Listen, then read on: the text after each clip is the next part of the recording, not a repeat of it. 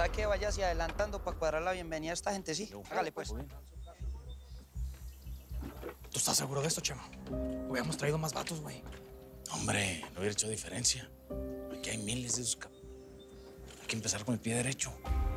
Si no, imagínate, estaríamos rifando el pellejo. Pues no te voy a llevar la contra. Pero yo creo que la Imelda tenía razón. No te debiste haber metido en políticos, carnal. Oh, a mí la política me vale madre. Por mí que se maten entre estos cap... Yo lo que quiero es hacer business. ¿eh? Aprovechar la oportunidad. ¿Qué ole, Manny? Hey, ¿Checaste las armas? hey, aguantan, ¿eh? Son como de hace 10 años, Chema.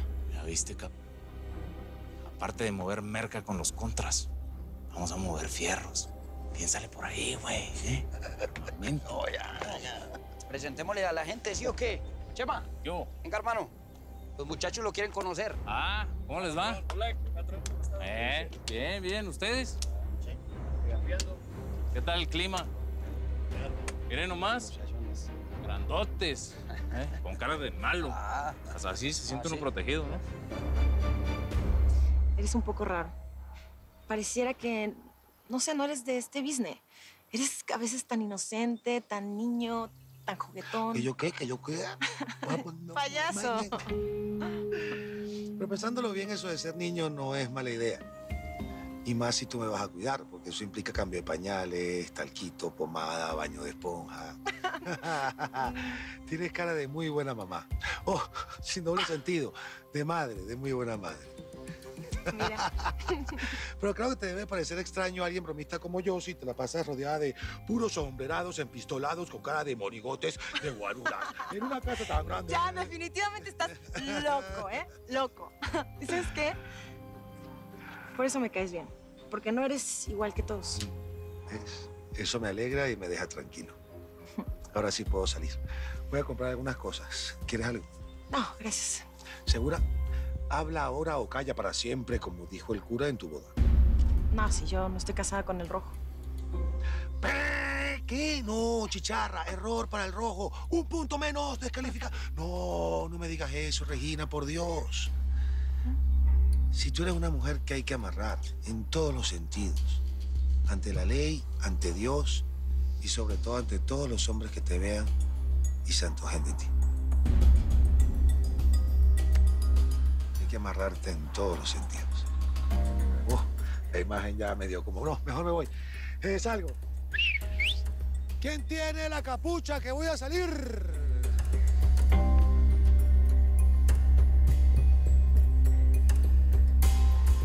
Vamos, señora, a comprar una cosa. Ante el asesinato de la secretaria de Clark, las autoridades enmudecidas. Pues a ver cómo se ponen las cosas.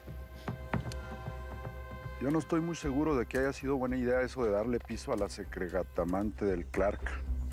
El periódico La Mañana ya sacó la nota. Y eso no se va a quedar así, Ricardo. Había que callarla de alguna manera. Pues tendrás que callar a alguien más. El mentado periodista este Francisco Moreno se está engolosinando con la noticia y menciona que la difunta tuvo amoríos con Clark.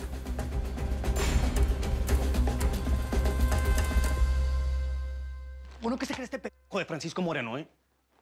Fue el único que sacó la nota con lo que dijo Ponce. Se cree muy honesto el put, ¿no? Tengo enemigos, mijo, y hay que tenerlos bien detectados. Y este periodista es uno de ellos. Pero no le quiero decir nada al Ricardo porque es capaz de echárselo. Y esto va a ser un reguero de sangre. ¿Has sabido algo de la Amanda? No. Y no quiero que me vuelvas a preguntar por ella. Le voy a dar vuelta a la página. Voy a hacer caso a lo que me dijo y me voy a conseguir una morra de acá. Voy a meter la demanda de divorcio lo antes posible y me voy a casar con otra mujer menos complicada. Así me gusta, mijo. Esa es la actitud. Si no creas, sí me pesa. Oye, pa, ¿alguna vez has pensado si mi mamá te puso el cuerno? ¿De qué hablas? ¿Estás loco o qué? No, pero a mí ya me adornaron la frente y no pasó nada.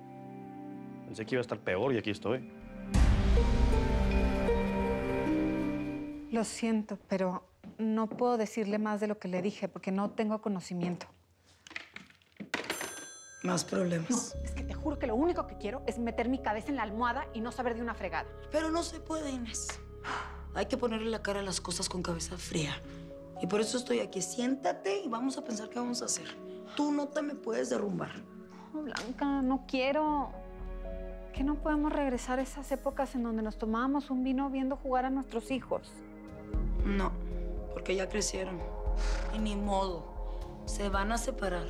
Aunque no lo queramos aceptar, se van a separar. El Saúl no está bien. Ese matrimonio nunca funcionó. Solo logró hacerlos infelices a los dos. Ya, mira, que se separen, que se divorcien ya. Es lo mejor para todos. Le están llamando de la otra línea, No, ya señora. no quiero contestarle a periodistas. No me pases llamadas ya. Ya. Es que esa p Marta no me va a dejar de ching ni muerta. ¿Viste lo que salió en el diario de la mañana? Ahora todo el mundo quiere saber si mi esposo me engañaba con la p la secretaria. Es que no hay dinero que alcance para callarle la boca a todo el mundo, ch madre.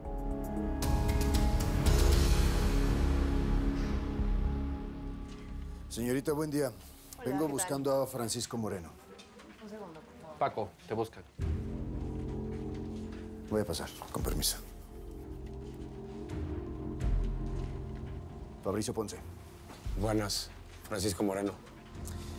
Mire, vengo a felicitarlo por la columna que salió hoy en el periódico. ¿Podemos platicar? ¿Y de qué quiere platicar? Lo que sé ya lo escribí. Y usted ya lo leyó. Mire, yo trabajo para la Agencia Especial Antidrogas y sé que también ha levantado denuncias contra Clark y su administración en su columna. Pues me da gusto que alguien como usted esté aquí en Nogales tratando de hacer frente a los delincuentes que tenemos por acá. Y en cuanto a que ningún otro medio lo haya reseñado, pues mis compañeros tienen miedo. Sí, pero usted no. No, yo también. Pero me aguanto. ¿Usted y quién más? Porque al parecer está solo aquí. Mire, Moreno, yo necesito información. Necesito de su ayuda. Pues estoy solo. Bueno, no tanto. Hay una fiscal. Ella prefiere discreción. Por su familia. ¿Qué tiene que ver la familia en esto? Ella es la sobrina más cercana del coronel Oteiza.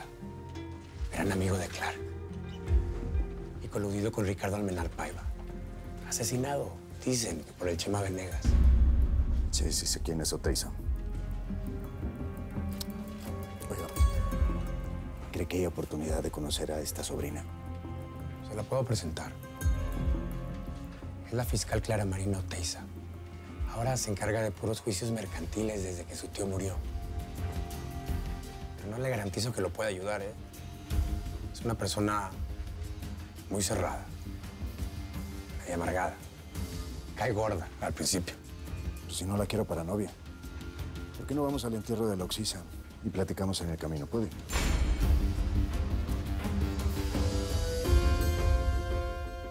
Hola, Elvira. Hola. Ah, aproveché que Salmita llegó para que me trajera. ¡Qué bueno! Sírvete cafecito, ahí está. Está calientito. Ay, hija. Me dijo tu mamá que te graduaste de la Academia de Policía. Fue la mejor de su clase. Y mayor mi dicha cuando pidió que la asignaran para acá.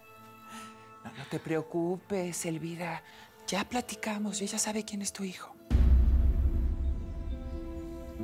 Espero que lo que te enseñaron allá lo guardes de esas puertas para afuera. ¿eh? No se preocupe, doña Elvira. Usted es una persona bien respetada en este pueblo. Y su hijo, pues ya todo el mundo sabe quién es. Así que no se apure, conmigo no va a tener problemas. Mamá, voy a la comandancia a avisar que ya llegué y después vengo por usted, ¿sí? Está bien, mija. Gusto verla, doña Elvira. Sí, hija.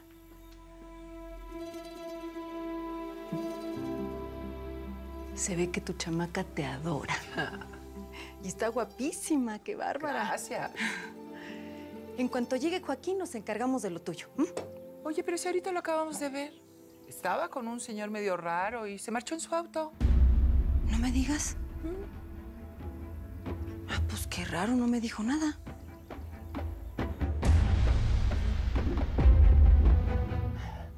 acá. Mi hijo no te va a perdonar esto, Narváez. Eso es lo que quiero, Joaquín. Que me venga a buscar el muy c... de tu hijo, ¿eh? Llámalo de una vez para que se entere. Ni madres. Vas a tener que decírselo tú mismo si es que tienes los para ello.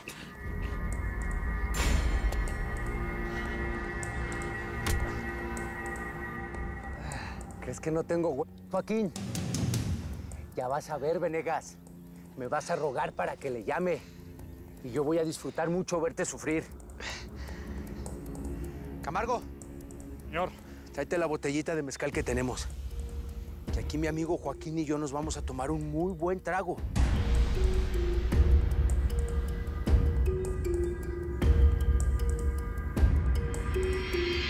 Órale, tómatelo todo. Con algo te tienes que pasar esto. Inés, no puedes dejar que esto te afecte. Tú, ponte de ella. Vamos. Oye, este es tu momento de aparecer deslumbrante ante todos como lo que eres, la esposa de Tobías. Delgada, buena mujer, de buenas familias, bien vestida, educada. Por Dios, ánimo. Sal a la calle, que a nadie le pase por la cabeza que todavía es tan idiota de poder tener un amante como la gata de su secretaria, teniéndote a ti como esposa. Pues tú mejor que nadie sabe que eso está muy difícil de hacer. Y a mí me vale madres. ¿Tú crees que en algún momento yo dejé que cualquiera de las amantes que tuvo Ricardo me hicieran mella? No, mi amor. Yo, mira, ¿sabes cómo las veo? Por encima del hombro. Nunca. Ni las jóvenes, ¿eh? Como tu sobrina. La única que se me acercó de todas fuiste tú. No estoy pa' chistes, Blanca. De verdad, ahorita no. Te voy a decir una cosa. Tú debiste de haber ido al entierro de la muerta. Oye, pero si tú tienes... ¿Tu marido tiene un puesto político? No, no, no, no, no. Suficiente hice con ir al funeral. ¿Y qué? ¿Fue el Ricardo o qué? Ay, tú, tú conoces a Ricardo. Ese es, mira, ese es más inteligente que todos, ya está en Tamaulipas, le vale madres, esperando que pase todo esto de la muerta. Gracias, mija. Pues ni modo. Lo vamos a tener que solucionar esto por las malas. A ver si estos pe... Dicen que no se van a meter con nosotros. Vamos a ver. Pero pues no hay que ponerse tan loco, primo. Si no ha habido pronunciamientos en la capital, pues todo está bien, primo. Pues no, porque no han rebuznado los Ramiro Silvas y los Jiménez Arroyo y todo eso bola de pe... Es porque se están lavando las manos. Más ni el pe... presidente ha dicho nada. Y hay que tener cuidado, porque eso quiere decir que a la hora de las pequeñas, estos put no nos van a dar apoyo, son unos todos.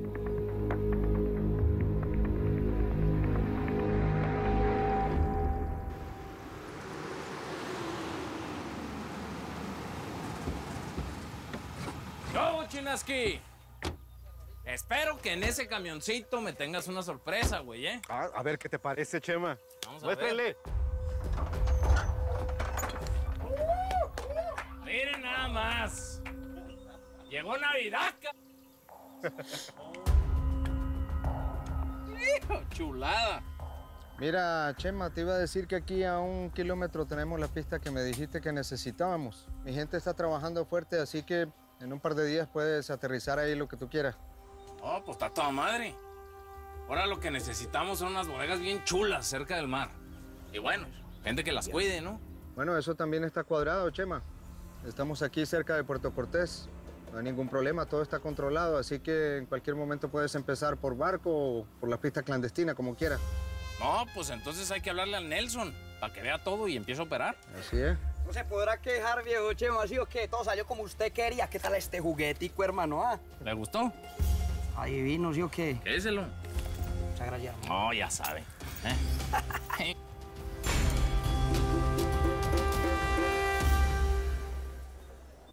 Entonces eso es todo, al menos para comenzar como mi secretaria.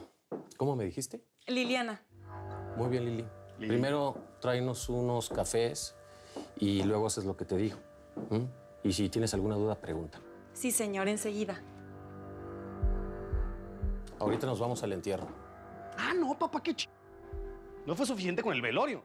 No, aparte va a estar el Ponce. Me vale madre, yo soy el presidente municipal y se va a ver feo que no lleguemos. Y tú tienes que apoyarme, tenemos que dar la cara, ¿entendiste?